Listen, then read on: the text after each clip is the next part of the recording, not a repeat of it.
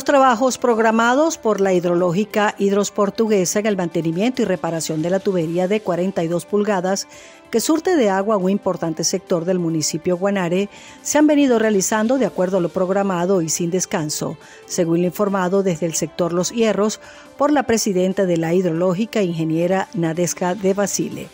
En compañía del equipo regional y del Ministerio de Aguas, destacó al detalle el estado en que se encuentra el trabajo el que debe hacerse aprovechando el verano.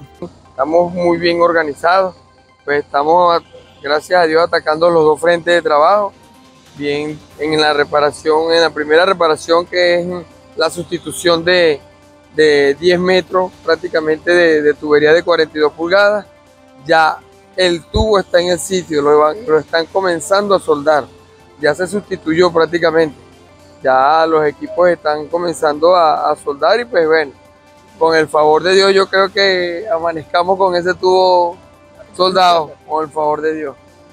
Y bueno, y aquí estamos pues en este segundo tramo, pues parte de, lo que ya venimos realizando, que fue la parte de la lo que cerrar la, válvula de 36 pulgadas que, para que no siguiera suministrando agua a la tubería y, lo que es el achique del, tubo en sí, para definitivamente tener todo a la mano para que los soldadores comiencen su trabajo, que es el que estamos comenzando ahora, pues, para comenzar a, chapear la parte que está más dañada, ir dejando las chapas una sobre otra sobrepuestas, para después comenzar la soldadura total de ella, que, que creemos que lo podemos hacer en conjunto tanto el otro personal con este personal. Es el, el último ataque que vamos a hacer. Pero por ahora estamos achicando, estamos haciendo todo, todos los trabajos pertinentes a, pero vamos bien, llevamos un buen avance. Con el, con el favor de Dios mañana amanecemos mejor. Así. Y fíjense, 12 abril 2024 a esta hora, 8 de la noche, aquí todo el equipo de Hidro Portuguesa de la mano con el Ministerio para las Aguas Minagua. Aquí estamos, fortalecidos cada día más en este tipo de mantenimiento programado a través de esta época de sequía que debemos hacer a todas nuestras adopciones porque acá en Hidros Portuguesa, en el sector Los Hierros, cada gota cuenta. Según el comunicado de la hidrológica, los trabajos requieren de tres días de suspensión del servicio, por lo cual se estima que para el viernes ya esté restablecido el servicio si no se presenta alguna otra contingencia. Para TRP Noticias, Jacqueline Campos.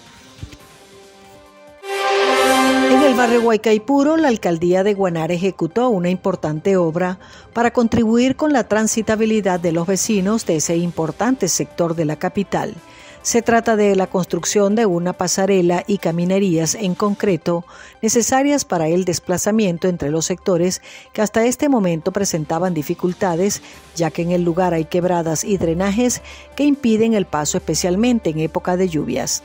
El trabajo es parte de la programación de obras destinadas a ejecutar en el municipio capital, manifestó el alcalde Óscar Novoa, quien indicó que el equipo de ingeniería y de servicios públicos hizo la obra aceleradamente aprovechando el tiempo de sequía, lo cual permitirá la mayor seguridad a los residentes del sector. Para TRP Noticias, Jacqueline Campos. La problemática eléctrica en el cono sur de Portuguesa ha generado distintas reacciones justificadas en que se trata de un servicio público vital. Al respecto, la noche de este martes 2 de abril, habitantes del barrio Simón Bolívar de Guanarito salieron a la calle a protestar por el racionamiento eléctrico que, sumado a los apagones en diferentes horas del día, han ocasionado el malestar general de la población por pérdida de alimentos y electrodomésticos, entre otras cosas. Las imágenes fueron tomadas por los propios habitantes y enviadas a diferentes medios de comunicación y redes sociales. Demuestran que la protesta se realizó en plena oscuridad, alumbrándose con celulares y linternas. Trascendió que recientemente fueron colocados varios transformadores en la zona, de los cuales dos explotaron, empeorando la situación en las comunidades afectadas. El mismo día en Guanare, vecinos de Mesa de Cavacas, La Amistad y La Colonia también reportaron por sus propios medios imágenes del colapso de un transformador ubicado diagonal a la iglesia de La Colonia, limitando con el barrio La Amistad, situación que complicó las cosas luego de estar sin luz desde las 11 de la mañana aproximadamente hasta pasada las 7 de la noche. Para TRP Noticias, Jacqueline Campos. Recientemente en la parroquia Ubencio Velázquez del municipio Sucre, Estado Portuguesa, se logró un sencillo pero importante trabajo en el Centro Cultural Comunitario Don Victoriano Fernández, con el diseño de un mural para homenajear a hombres y mujeres que representa la dignidad de ser sucrenses. La actividad contó con el total apoyo del alcalde Jovito Villegas, quien en nombre de la alcaldía del municipio Sucre hizo especial reconocimiento a los homenajeados, sobre quienes expuso una galería para los denominados Cuatro Grandes, Picto Ramos, Ubencio Antonio Velázquez, Victoriano Fernández y Malaquías Delfín. El acto cultural también contó con una interpretación de música campesina a cargo de músicos autóctonos de la parroquia Ubencio Velázquez, así como la presentación de un grupo de danzas. Milagros Velázquez, TRP Noticias largas horas de búsqueda, las autoridades lograron recuperar el cadáver de un joven que se sumergió en aguas del río Guanare para darse un baño, desapareciendo en el acto. El infortunado tenía 18 años de edad y fue identificado como Miguel José Sánchez Márquez, quien se sumergió a la altura del puente del sector falconero del municipio Guanarito.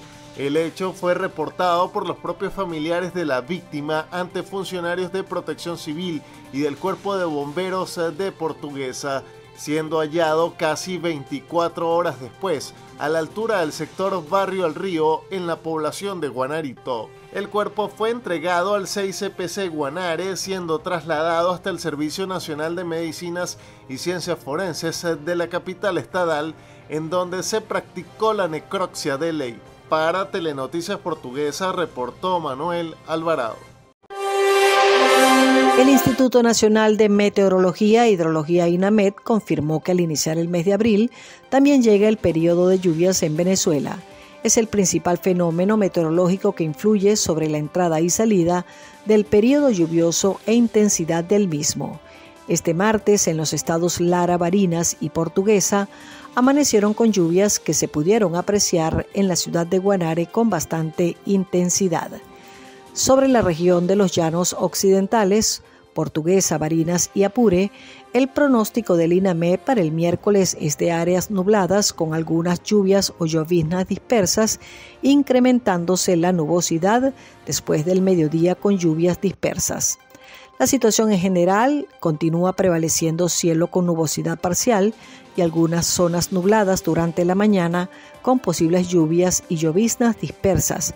Asimismo, después del mediodía se espera un incremento de la nubosidad con precipitaciones de moderada intensidad, algunas con actividad eléctrica especialmente en el norte de la Guayana Esequiba, Sucre, Nueva Esparta, sur de Bolívar, Amazonas, oeste de Apure, Lara, Los Andes, Falcón y Zulia, condición meteorológica producto de la interacción de una vaguada sobre el Mar Caribe al noroeste de Venezuela y la zona de convergencia intertropical activa al sur del territorio.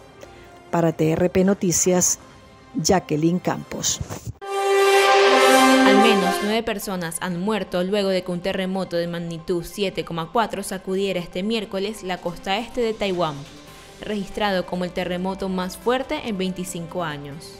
Más de 900 personas resultaron heridas y más de 100 edificios dañados. Los rescatistas continúan trabajando para liberar a decenas de personas atrapadas después de que el terremoto provocara deslizamientos de tierra y derrumbes de estructuras. El terremoto fue seguido por fuertes réplicas, incluido un temblor de magnitud 6,5. La población de dicho país sigue en alerta, dado que se esperan múltiples réplicas en los próximos días. Milagros Velázquez, TRP Noticias.